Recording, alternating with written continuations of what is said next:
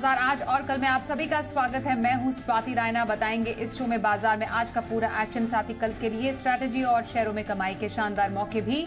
आप भी पूछ सकते हैं हमसे सवाल। फ़ोन नंबर नोट कर लीजिए zero double two two three double zero one six three four या फिर आप हमें zero double two two three double zero one six three five पर कॉल कीजिए। फेसबुक पर at the rate Zee business online और ट्विटर यानी X पर आप at the rate Zee business अपने सवाल भेज सकते हैं। हैश टैग बाज़ार आज और कल लिखकर। कल के लिए आपकी तैयारी कराने के लिए जी बिज़नेस के मैनेजिंग एडिटर आपको बताएँगे स्ट्रैटेजी और साथ ही हमारे साथ खास मेहमान है सेठी फिनमार्ट के एमडी विकास सेठी। विकास जी स्वागत करते हैं आपका आज के इस शो में। और सबसे पहले आज के बाज़ार पर एक नज़र डाल लेते हैं। तो हमने देखा आज बाज़ार में पूरे दिन सीमित दायरे में कारोबार हुआ। सेंसेक्स अंत में पैंसठ हज़ार दो सौ बीस पर सपाट बंद हुआ। निफ्टी में आ, हमने देखा कि उन्नीस हज़ार चार सौ के करीब सपाट क्लोजिंग हुई। साथ ही जो बैंक निफ्टी था, उसमें हमने देखा वो आठ अंक गिरकर तिरालीस हज़ार नौ सौ नब्बे पर बंद हुआ। और जी बिज़नेस के मैनेजिंग एडिटर अनिल सिंह भी बता रहे हैं कि बाज़ार में सुस्ती क्यों रही? क्यों अच्छी शुरुआत के बावजूद बाज़ार में जोश नज़र नहीं आया? हफ़्ते के दूसरे दिन भारतीय बाजारों में दिखा बेहद इंटरेस्टिंग कारोबार, और आप सोचेंगे इंटरेस्टिंग कैसे? जब दो तीन पॉइंट ऊपर नीचे सेंसेक्स निफ्टी और बैंक निफ्टी बंद हो तो ऐसा कैसा इंटरेस्टिंग जी हाँ इतनी सुस्त क्लोजिंग आपने हार्डली कभी पिछली बार कब देखी हुई, याद भी नहीं है। लेकिन उसके बावजूद बाज़ार में कारोबार बड़ा इंटरेस्टिंग था। वजह क्या है? कि ब्रॉडर मार्केट में एक्शन ज़बरदस्त था। सेंसेक्स निफ्टी और बैंक निफ्टी बाज़ार की असली तस्वीर और कहानी बता ही नहीं रहे।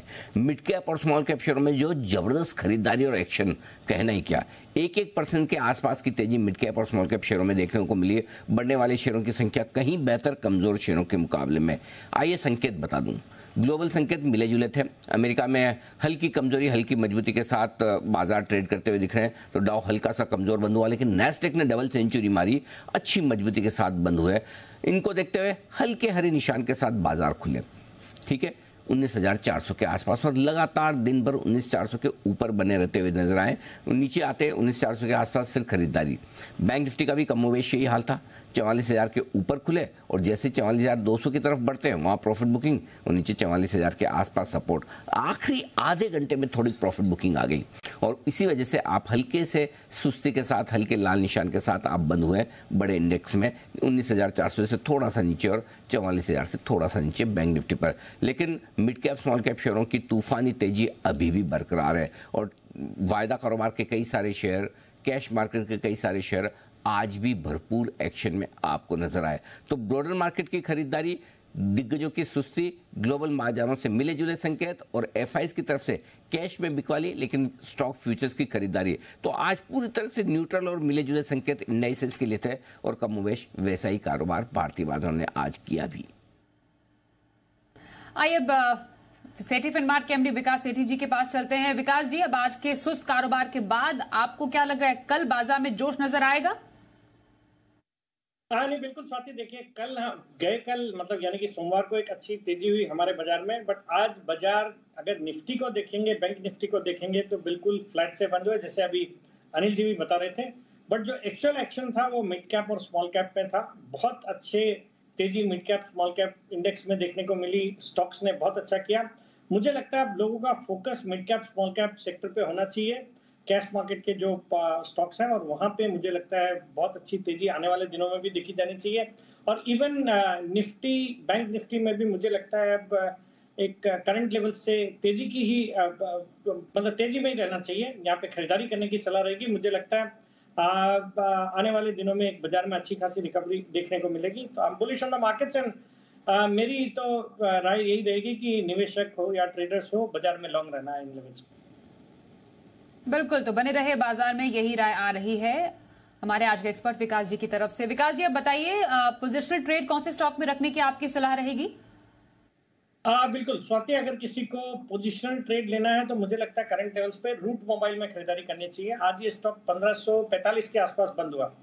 ये कंपनी भी एक ज़बरदस्त कंपनी है जो कि जितने ये ओटीटी प्लेयर्स और मोबाइल नेटवर्क ऑपरेटर्स है इनको स्मार्ट सॉल्यूशन प्रोवाइड करते हैं in the field of messaging फिर वॉइस या ईमेल और आजकल हम देख रहे हैं बहुत ट्रांजेक्शन हो रहे हैं डिजिटल और डिजिटल ट्रांजेक्शन जब करते हैं, चाहे वो बैंकिंग ट्रांजेक्शन है या आपके ऑनलाइन शॉपिंग है तो ओ वगैरह आते हैं जो ये कंपनी प्रोवाइड करती है. फिर आजकल टू फैक्टर ऑथेंटिकेशन की वजह से भी इनको काफ़ी एक अच्छी ग्रोथ अपॉर्चुनिटी देखी जा रही है. बाकी इस कंपनी ने कुछ नए प्रोडक्ट्स भी लॉन्च किए भारतीय मार्केट में जो मोबाइल फ्रॉड को एड्रेस करने के लिए भी कुछ प्रोडक्ट्स है इनके पास. सॉलिड कंपनी है ग्लोबल ऑपरेशन है फ्रॉम ट्वेंटी लोकेशन और हाल ही में इन्होंने सऊदी अरबिया में भी एंट्री करी है। और एक प्रॉफिटेबल कंपनी है न्यू एज बिज़नेस है बट एक प्रॉफिटेबल है, जो काफ़ी कम कंपनियाँ हैं, जो न्यू एज कारोबार में है और प्रॉफिटेबल भी है। और अच्छी खासी एफ़ की हिस्सेदारी है, पिछले साल बाईबैक भी किया है कंपनी ने करीबन 1700 के लेवल्स पे बाईबैक हुआ है। तो उसके सामने देखें तो आज 1545 में ये स्टॉक अच्छा लग रहा है, और मुझे लगता है हाल ही में, कल परसों ये खबर में भी था बिकॉज़ वोडाफोन आइडिया ने टानला प्लेटफॉर्म के साथ जो कॉन्ट्रैक्ट था, वो वहाँ पे कैंसिल करके इनके साथ करार किया है तो उसका भी एक अच्छा अट्रैक्शन देखने को मिल सकता है। तो ऑल इन ऑल एक अच्छे लेवल पे अच्छा स्टॉक है, मुझे लगता है करंट लेवल्स पे खरीदना चाहिए। मेरा इसमें पोजिशनल टारगेट है सोलह सौ तीस रुपए का स्टॉप लॉस रखना पंद्रह सौ दस रुपए। बिल्कुल। तो यहाँ पर रूट मोबाइल्स में पोजिशनल खरीदारी करने की सलाह विकास सेठी जी की ओर से आ रही है। आइए अब लॉन्ग टर्म स्ट्रैटेजी की बात करें। बताइए विकास जी आपकी नज़र में लॉन्ग टर्म स्ट्रैटेजी का आपका फेवरेट स्टॉक कौन सा रहेगा? आ, बिल्कुल स्वाति लॉन्ग टर्म स्टॉक जो आज मैं रेकमेंड करने जा रहा हूँ ये स्टॉक को मैंने पहले भी कई बार रिकमेंड किया निचले लेवल्स पे। इस सेगमेंट में भी किया है और बाकी जो एस मिड कैप सेगमेंट हो या सदाबाद सेठी साहब के शॉर्ट टर्म पिक्स है वहाँ पे भी रिकमेंड किया हुआ है। इंजीनियर्स इंडिया लिमिटेड मुझे अच्छा लगता है। आज ये 159 पे बंद हुआ है। एक बहुत ही ज़बरदस्त ग्लोबल इंजीनियरिंग कंसल्टेंसी और ईपीसी कंपनी है। जो कि मेनली ऑयल एंड गैस और पेट्रोकेमिकल इंडस्ट्री को कैटर करती है। मार्की क्लाइंट लिस्ट है, जितने ऑयल प्रोड्यूसर्स है ऑयल मार्केटिंग कंपनीज़ है भारत में plus even international companies like Kenya petroleum refineries Qatar petroleum ये भी इनके क्लाइंट लिस्ट में है। एक ज़बरदस्त 9000 करोड़ की ऑर्डर बुक है और अच्छे ऑर्डर इनफ्लोज लगातार इनको मिल रहे हैं और आजकल इस कंपनी का फोकस है रिन्यूएबल्स और न्यूक्लियर पावर में with a focus on green hydrogen और ये जो सेगमेंट है, बहुत ही ट्रिमेंडस ग्रोथ अपॉर्चुनिटी है। सरकार ने हाल ही में फ्लोट किया to set up 4.5 lakh tons of green hydrogen production facility तो उससे भी बड़ा ऑर्डर मिलने की संभावना है। बाकी इस कंपनी का एक फिनलैंड की कंपनी के साथ बायोमास को ग्रीन फ्यूल्स में कन्वर्ट करने का भी एक करार किया हुआ है। वो भी एक बड़ी अपॉर्चुनिटी है। फंडामेंटल्स बहुत अच्छे हैं। जून क्वार्टर में पैट आया 116 करोड़ का, जो पिछले साल सिर्फ़ इक्यावन करोड़ का पैट था। तो इस तरह की डबलिंग हुई है प्रॉफिट्स में। बाकी return on equity is close to 18 percent return on capital employed 22 percent एक zero debt company PSU stock है। आज इस स्टॉक ने अच्छा किया बट मुझे लगता है लॉन्ग टर्म में यहाँ से बहुत अच्छी अपसाइड देखी जा सकती है। तो खरीदारी करने की सलाह रहेगी इंजीनियर्स इंडिया लिमिटेड में करंट लेवल्स पे या स्टैगर्ड ग्रुप में कोई भी गिरावट में खरीदारी करें। और मेरा इसमें नौ से बारह महीने का टारगेट है, दो सौ पच्चीस रुपए। जी ईआईएल e में खरीदारी की सलाह लॉन्ग टर्म की हमारे आज के एक्सपर्ट विकास सेठी जी की ओर से। आइए अब इसी के साथ पहले कॉलर की तरफ़ बढ़ते हैं। हमारे साथ राजस्थान जयपुर से हैं पदम बारदिया साहब। नमस्कार बताइए कौन सा स्टॉक है आपके पास? हाँ नमस्कार जी। मेरे पास में है Tata motor hundred share one one ten की कॉस्ट के। तो अब इनको रखना चाहिए या सेल कर देना चाहिए? वन वन टेन हाँ। ओके एक में वन वन टेन मतलब अब क्या एग्जैक्ट बोल रहे वन वन अच्छा वन वन टेन एक हज़ार एक सौ दस। नहीं एक सौ दस रूपए की प्राइस है टाटा मोटर की। अच्छा वन अच्छा आप वन वन टेन बोल रहे ना सर इसलिए मैं कंफ्यूज हाँ। हो गई। एक सौ दस रूपए आपने बोला। हाँ एक सौ दस रूपए। अच्छा एक सौ दस की। कब लिए थे आपने ये शेयर ये 2020 में लिए थे। अच्छा ठीक है। और व्यू कब तक का आप रख रहे हैं इस पे? अगर प्राइस बढ़ने का हो तो एक दो साल भी रख सकते हैं। कोई दिक्कत नहीं है रखने में। अच्छा ओके सर टाटा मोटर्स करने का है। अच्छा ओके ठीक है चलिए कंफ्यूजन दूर हुआ। 110 टाटा मोटर्स पर खरीद है इनकी। लंबी अवधि का नज़रिया टाटा मोटर्स पर। सर एंट्री लेवल तो अच्छा अब आगे क्या आप सलाह देंगे? आ, बिल्कुल स्वाति पहले तो पदम जी को बधाई देनी है बहुत अच्छे लेवल्स पे और सही समय पे। जब 2020 में बाज़ार में मार्केट मची हुई थी उस समय इन्होंने अच्छे लेवल्स पे एक अच्छी कंपनी को के शेयर को खरीदा और छह गुना हो गया है इनका स्टॉक इनके प्राइस से। और अभी भी मुझे लगता है इस स्टॉक को होल्ड करना चाहिए। जिस तरह के प्रोस्पेक्ट्स हैं जो आज इनको फ़र्स्ट मूवर एडवांटेज मिल रहा है electric vehicles vehicle passenger car segment में नेक्सॉन आजकल काफ़ी पॉपुलर है और ये मतलब ऐसे टेस्ला मानी जा रही है भारत की तो मुझे लगता है ये स्टॉक अच्छा करेगा और बाकी इनके कमर्शियल व्हीकल स्पेस बसेस वाला सेगमेंट सब अच्छा कर रहे हैं। Even JLR is also doing well तो इस तिमाही के नतीजे भी बेहद ही दमदार थे। तो मुझे लगता है लॉन्ग टर्म के लिए इस स्टॉक में करंट लेवल से अच्छा अपसाइड के लिए बिल्कुल बने रहने की सलाह रहेगी बिल्कुल तो बने रहिए टाटा मोटर्स में। आपके लिए यही सलाह हमारे आज के एक्सपर्ट विकास जी की ओर से। अगले कॉलर शाहजहांपुर से आशीष सक्सेना से बात करते हैं। नमस्कार, बताइए, आपके पास कौन सा स्टॉक है? हाँ, नमस्कार मैम। मैं आशीष सक्सेना शाहजहांपुर यूपी से। मेरे पास बजाज हिंद है और सत्तर रुपए सत्रह वन सेवन मतलब सेवेंटी रुपीज़ सेवेंटी पैसा का बाइंग करा हुआ है चौबीस सौ शेयर। और हाँ, हाँ। लगभग एक साल से अधिक का टाइम हो गया। मैं कितने टाइम होल्ड करूँ कि मुझे डबल का रेट मिल जाएगा? हम्म डबल का रेट रेट दुगना बजाज हिंद। क्या लग रहा है विकास जी आपको कैसे लग रहा है स्टॉक और इसके फंडामेंटल्स देखिए ये फंडामेंटली तो एक कमज़ोर शेयर है बट एक अच्छे स्पेस में है शुगर सेक्टर में है और शुगर सेक्टर अच्छा कर रहा है। अगर जिन्होंने जब इन्होंने बजाज हिंद में निवेश किया मुझे लगता है दूसरे कोई शुगर काउंटर जैसे त्रिवेणी इंजीनियरिंग है इंजीनियरिंग नाम में है बट शुगर स्पेस में है ये स्टॉक भी धामपुर शुगर है आपके बलरामपुर चीनी या फिर आपके आ, और ई आई डी पैरी वगैरह इस तरह के स्टॉक में अगर निवेश करते तो मुझे लगता है अच्छे रिटर्न्स इनको कंपैरेटिवली बेटर रिटर्न्स मिलते। हैं इस स्टॉक में हाल फ़िलहाल तो बने रहने की सलाह है बट मुझे लगता है अभी इक्कीस के लेवल पे है, चौबीस, पच्चीस के लेवल पे इसमें प्रॉफिट बुक किए जा सकते हैं। फिर मुझे लगता है अगर इसी सेक्टर में रहना है तो ये जो स्टॉक्स मैंने बताया उसमें अगर निवेशित रहेंगे और लंबी अवधि के लिए रहेंगे तो ज़्यादा कंपेरेटिवली ज़्यादा रिटर्न्स बन सकते हैं। बिल्कुल तो यही रही आपके स्टॉक बजाज हिंद पर, हमारे आज के एक्सपर्ट विकास सेठी जी की ओर से। अगले कॉलर से बात करते हैं, अलीगढ़ से नरेंद्र कुमार हमारे साथ है। नमस्कार, बताइए कौन सा स्टॉक आपके पास है? नमस्कार मैम मैं नरेंद्र कुमार बोल रहा हूँ अलीगढ़ से। हम्म जी पूछिए सवाल। मैम मेरे पास आरसीएफ का शेयर है तीन हज़ार सात सौ तीन क्वान्टिटी हाँ। और एक सौ सत्ताईस में बाइंग है मेरा अभी लॉस में चल रहा है।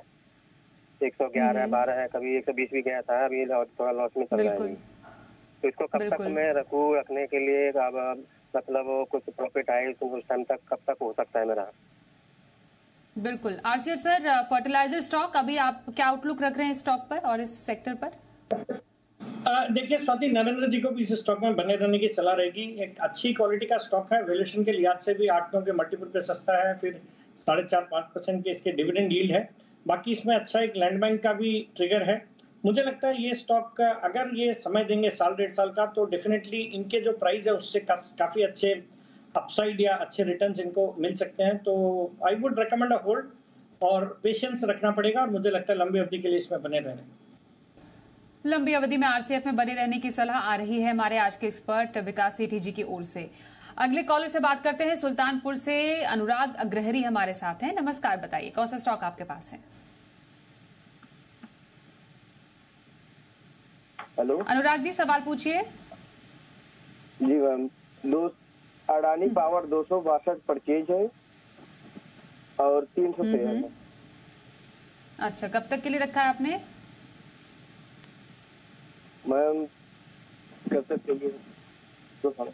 दो साल अदानी पावर पर सर क्या रहेगी राय आपकी लॉन्ग टर्म के लिए रखना चाहें? फ़िलहाल पच्चीस हज़ार का मुनाफा है। अच्छे लेवल पर एंट्री भी। अब क्या राय? अगेन अनुराग जी को इस स्टॉक में भी होल्ड करने की सलाह रहेगी। एक अच्छी क्वालिटी का स्टॉक है और within the Adani group Adani space एक लो वैल्यूएशन पे या रीजनेबल वैल्यूएशन पे ट्रेड करने वाला स्टॉक है। और पावर सेक्टर पे मैं बुलिश हूँ। Within the power sector एक अच्छा स्टॉक है और अच्छे वैल्यूएशन पे ट्रेड कर रहा है। डिस्पाइट द फैक्ट कि इनको अच्छा खासा मुनाफा हो रहा है, मुझे लगता है करंट लेवल्स पे होल्ड करंट लेवल्स पर होल्ड करने की सलाह आपके लिए आ रही है, आपके स्टॉक अदानी पावर पर। अगले कॉलर से बात करें। हमारे साथ इस वक्त हैं मेरठ से राहुल जैन। राहुल जी स्वागत करते हैं। बताइए आपके पास कौन सा स्टॉक है? गुड इवनिंग मैम मेरे पास में अडानी ट्रांसमिशन के तीन सौ सत्तर शेयर हैं। और मेरी सेवन नाइन्टी की परचेज है।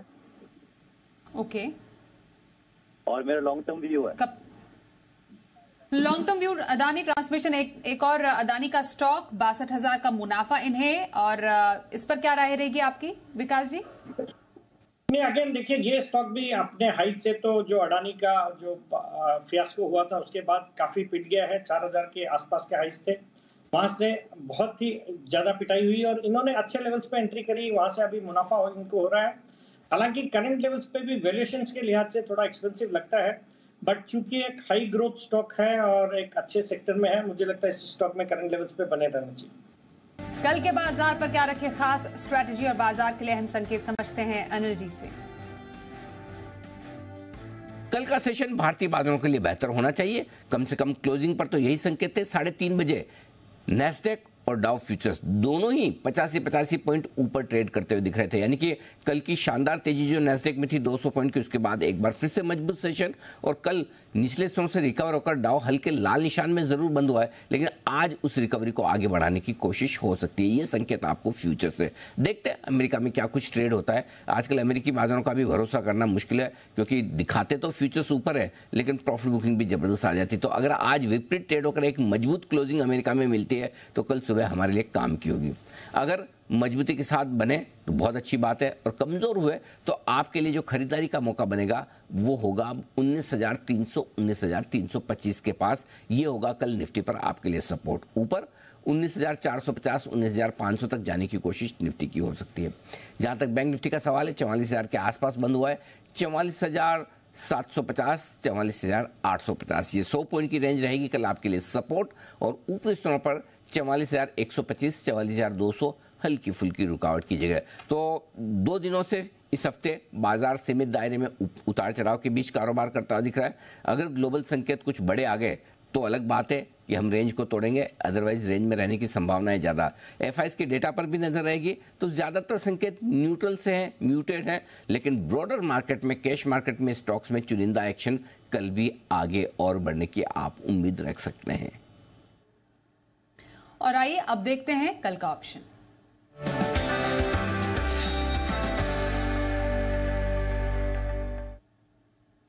हमारे साथ है एक्सेस सिक्योरिटीज के राजेश पालविया राजेश जी, स्वागत करते हैं कल के बाज़ार में कहाँ पर मौके नज़र आ रहे हैं आपको? गुड इवनिंग सो देखिए मार्केट में 19,400 के आसपास बाइंग इंटरेस्ट ज़रूर बना हुआ है। मार्केट में आज भी लोअर साइड से एक रिकवरी बनते हुए दिखी थी। Uh, हमें लगता है कि यहाँ से जिस तरीके से ब्रॉडर मार्केट में एक बाइंग का इंटरेस्ट बना हुआ है uh, हमें कल के सेशन में निफ्टी में एक अपमूव बनते हुए दिख सकता है। उन्नीस चार सौ का कॉल ऑप्शन यहाँ पे बाय करने की सलाह देंगे जो कि आज क्लोज हुआ है करीब फोर्टी से सिक्स के आसपास। यहाँ पे बाय किया जा सकता है। और इस ऑप्शन के टारगेट हम प्रोजेक्ट कर रहे हैं जो आ सकते हैं करीब सेवेंटी फाइव से लेके एटी फाइव तक की अपसाइड यहाँ पे आते हुए बंद दिख सकती है। तो उन्नीस चार सौ का कॉल ऑप्शन बाय करना स्टॉप लॉस रखेंगे करीब तीस रुपए के आसपास। स्टॉक स्पेसिफिक बात करें तो आ, हमें लगता है कि आज के सेशन में जिस तरीके से बीएचईएल में एक बाइंग इंटरेस्ट बनते हुए दिखा स्टॉक में एक अच्छा बड़ा ब्रेकआउट बना है। कल के सेशन में भी बीएचईएल को यहाँ पे बाय किया जा सकता है। अपसाइड का टारगेट हमें लग रहा है 118 से लेके 122 तक आते हुए दिख सकते हैं। स्टॉप लॉस जो रखना होगा वो करीब होगा एक सौ सात रुपये पचास पैसे के आसपास। बिल्कुल तो स्टॉक स्पेसिफिक और इंडेक्स में कल की ऑप्शन स्ट्रैटेजी बताई राजेश पालविया ने। धन्यवाद राजेश जी हमारे साथ शामिल होने के लिए शो में। आइए विकास जी से समझते हैं अब कल के बाज़ार पर उनकी तरफ़ से क्या स्ट्रैटेजी रहेगी? तो इंट्राडे कॉल विकास जी आपकी तरफ़ से कौन सी? आ, बिल्कुल। स्वाति कल के लिए जो इंट्राडे पिक रहेगा मेरा वो रहेगा शिपिंग कॉर्पोरेशन ऑफ़ इंडिया जो आज 117 के लेवल्स पे बंद हुआ। आज हमने देखा पीएसयू स्टॉक्स में एक बहुत ही दमदार तेज़ी बनी जैसे इंजीनियर्स इंडिया लिमिटेड की अभी थोड़ी देर पहले मैंने चर्चा करी। जीएमडीसी में एक अच्छी तेज़ी थी।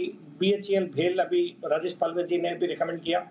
बहुत अच्छी तेज़ी देखी गई। मुझे लगता है कल शिपिंग कॉर्पोरेशन ऑफ़ इंडिया अच्छा कर सकता है। एक भारत की लीडिंग शिपिंग कंपनी है। इसके अलावा ये सबसे बड़ी टैंकर ओनर भी है भारत में। और इकलौती ऐसी शिपिंग कंपनी है जो शिपिंग के हर सेगमेंट में कैटर करती है। बाकी फंडामेंटली एक सॉलिड कंपनी है। जून तिमाही बहुत अच्छी थी। एक सौ सैंतालीस करोड़ का पैट रिपोर्ट किया, जो पिछले साल सिर्फ़ अंठानवे करोड़ का पैट था। अच्छे मार्जिन है, अच्छे रिटर्न रेशियोज है और डेट इक्विटी रेशियो भी 0.37 का है।